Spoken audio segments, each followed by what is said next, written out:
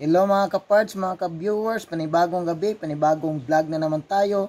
Welcome back to my channel at kapag bago ka pa sa channel na to, please don't forget to subscribe and click the notification bell para mag-notify ka kapag may bago akong video i-upload. So, ang isi-share ko ngayon sa inyo guys ay tungkol sa under chassis parts ng iyong sasakyan which is ang topic ko ngayon guys is uh, Hyundai Starex at saka Mitsubishi Space Girl ano, ang Starex guys is 1997 pataas, no? Yung Space Gear naman guys is 95 pataas. So same lang sila ng under chassis parts guys. Okay, so ano-ano ba ang mga under chassis parts ng iyong sasakyan na Hyundai Starex or Space Gear, no?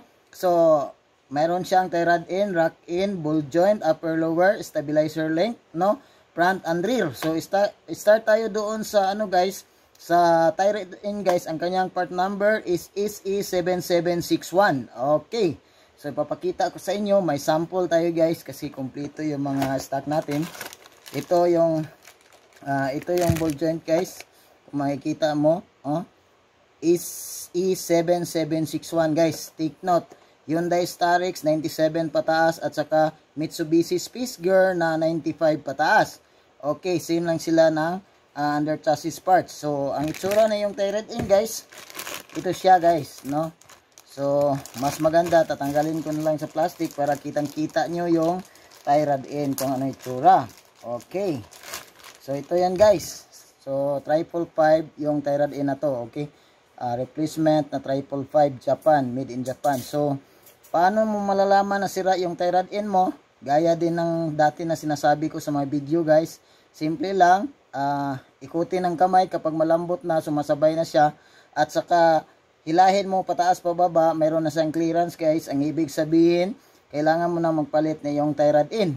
No? So kapag pumunta ka sa shop, inaalog-alog nila yung gulong mo, so makikita nila na maluwang na to. Okay, so kailangan mo na magpalit na yung tie rod in. Okay, so ang next guys is yung kanyang rack in, yung yung kaparihan niya is rack in, no? Ang kanyang part number guys is SR7760. Okay. SR7760 ang kanyang rack in. Mayroon din tayong sample guys. Ipapakita ko sa inyo. Rifle 5 din siya guys. Yun. No? SR7760. Take note guys, pang Starix 97 pataas at saka Mitsubishi Girl 95 pataas. Ito yung itsura ng iyong rack in guys. No? Ito yung rack in niya. Okay? Kung nakikita nyo, ito yung uh, pinakapuno ng rack-in, no? Ito yung maika, maikakabit doon sa rack-in pinion assembly mo, doon siya ikakabit. Then, paano mo malalaman na sira? Itong ulo na to, yung ulo niya, pag bumabagsak na siya, no? Pag ginaganon mo, malambot na siya, ibig sabihin, kailangan mo nang palitan ang iyong rack-in pinion, no? Kasi magkukos siya ng rattle, no? So, rattle doon sa iyong sasakyan. May mga tumutunog doon, no? So, ang tie rod end guys, dito yon nakalagay. Okay? So, ito guys, pag masisira to, pag ginaganon mo, mga ngaruling ka, pwede mong gawing ano, yung batingting, ganun. Di ba? Uh, parang jingle bell, jingle bell. okay? So, ito na yung rack end mo guys, no? Sa Starix mo at saka space gear. So, nakikita nyo na. So, pag ganon, maluwag na yung rack end mo, kailangan mo nang palitan kasi marami ding masisira sa iyong isa na doon yung gulong mo guys no? Madaling maupod yung gulong mo. Kaya kailangan mo siyang palitan. At saka importante ito guys dahil ito yung nag nag ano sa monabila mo. Paano pag sira yon biglang matanggal. So accident wag naman sanang mangyari. So wag na nating antayin na magiging uh, mangyari sa inyo yon no uh, okay so ang next guys is yung ball joint upper guys so ang bolt joint upper guys, ang kanyang part number is SB7761. Okay. So ipapakita ko sa inyo ano yung kanyang itsura, no? SB7761. So ang kanyang itsura guys, tatanggalin ko rin para makita nyo yung itsura ng yung ball joint, no? So ito yun.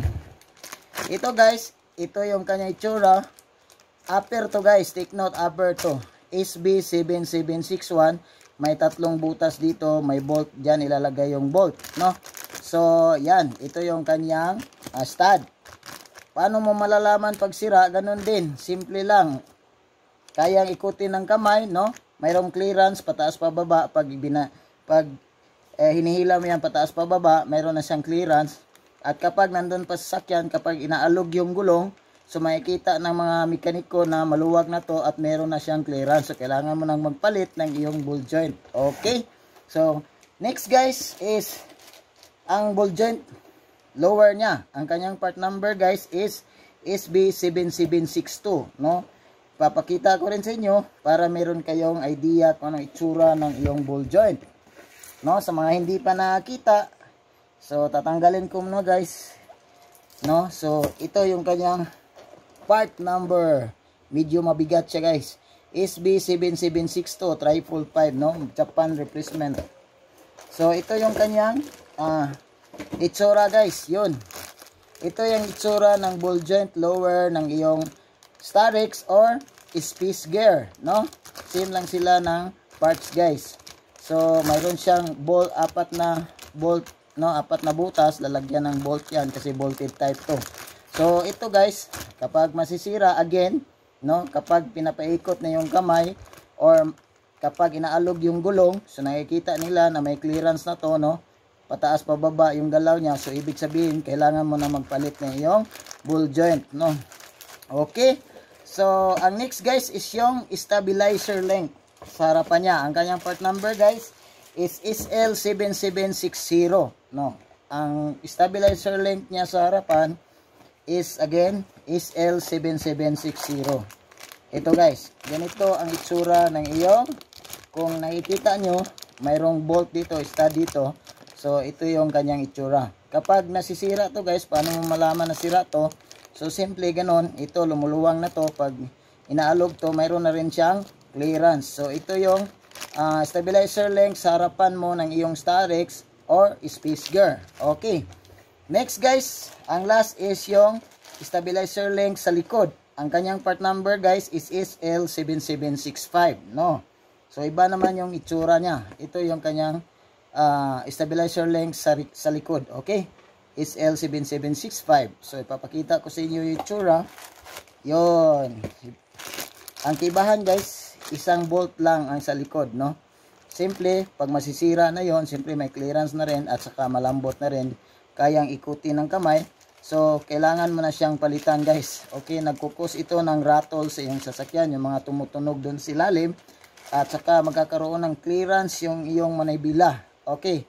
Man, muna bila guys, yung steering wheel mo, magkakaroon na siya ng clearance. Okay. So, yun na lahat guys. Bago ko tatapusin, uh, isa shout out ko muna ang idol ko, si Maninoy White na mekaniko from uh, Bacolod City, no? At saka si Migs Labu guys, no? Shout out. At saka Liado Vlogs, Just Work TV, Winsis Vlog, yung pare kong kaibigan ko sa Davao, no? Winsis, Win, Winsis Vlogs, pakisupport pakisuportahan nyo na lang guys. Pasensya na, nabubuyoy na naman ako. Nanggigigil ako sa inyo.